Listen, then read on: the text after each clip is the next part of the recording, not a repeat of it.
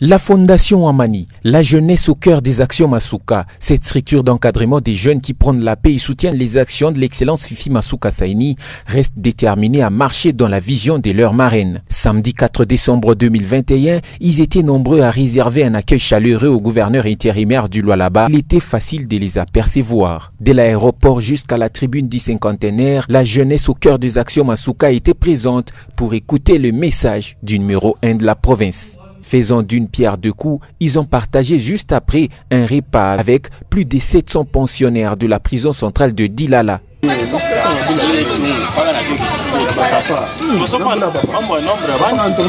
La Fondation Amani reste déterminée à accompagner les actions de l'excellence Fifi Masuka Saini et prendre la paix dans la province du Lualaba.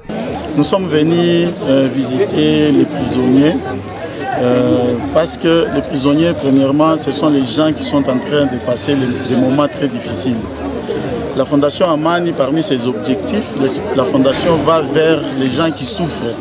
Et je pense, euh, depuis la création de la Fondation Amani, on n'a jamais été à la prison. C'est pour notre première fois.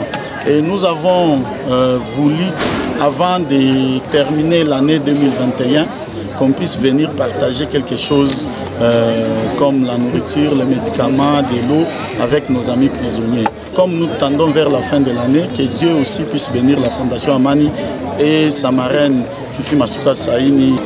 Notre fondation a plusieurs objectifs. C'est parmi les objectifs de la fondation. Il y a l'assistance de, des mini. Aujourd'hui, nous nous sommes dit, aujourd'hui nous allons descendre en prison. Il y a d'autres fois, nous allons à l'hospice euh, voir les orphelins. Aujourd'hui, nous nous sommes assignés comme mission de venir en prison.